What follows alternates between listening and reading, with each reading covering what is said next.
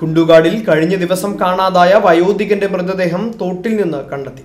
കുണ്ടുകാട് എംബ്രാംപുരത്ത് വീട്ടിൽ എൺപത്തിരണ്ട് വയസ്സുള്ള പി എ ജോസഫ് മാസ്റ്ററിന്റെ മൃതദേഹമാണ് കണ്ടെത്തിയത്.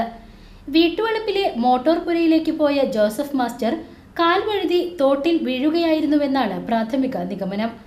ഞായറാഴ്ച രാത്രിയാണ് ജോസഫ് മാസ്റ്ററെ കാണാതായത്.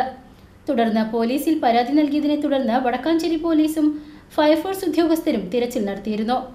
തിങ്കളാഴ്ച രാവിലെ പതിനൊന്ന് മണിയോടെയാണ് മൃതദേഹം കണ്ടെത്തിയത്. ഭാര്യ ത്രേസിക്കുട്ടി ടീച്ചർ പ്രിയേഷ് ഡോക്ടർ ജിൻസി എന്നിവർ മക്കളും അനീഷ് ജൂഡി എന്നിവർ മരുമക്കളുമാണ്. സംസ്കാരം ബുധനാഴ്ച രണ്ട് മണിക്ക് നടക്കും.